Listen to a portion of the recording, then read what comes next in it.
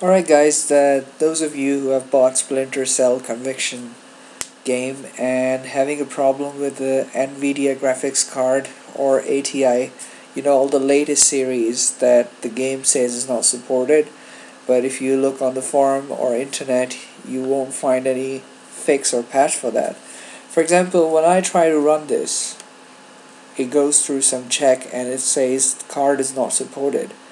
Anyway, this card is better than the uh, cards they have mentioned like 9800 GT this is a 30, 30, 330 M GT card that came with my Sony Vaio laptop.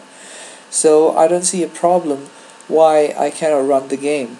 Now I I'm limited to only just select this or there is something written down here and I cannot see and obviously I cannot run the game. And if I just uh, you know close it the game just quits and I'm back on the desktop again.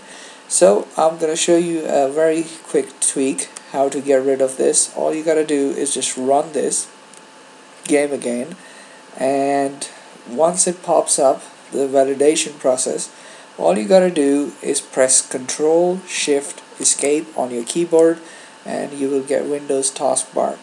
Now here you have to go in the application select the validation process which is this one and right click and click maximize. So once you click the maximize you get this option would you like to continue anyway? All you gotta do is press yes and the game will run with the flying colors. So here I go. I click yes and the game is running. You might see a blank screen but I'm seeing all the graphics here which I think my capturing device doesn't record. So anyway I just wanted to show you how to run the game which I couldn't find online. Thank you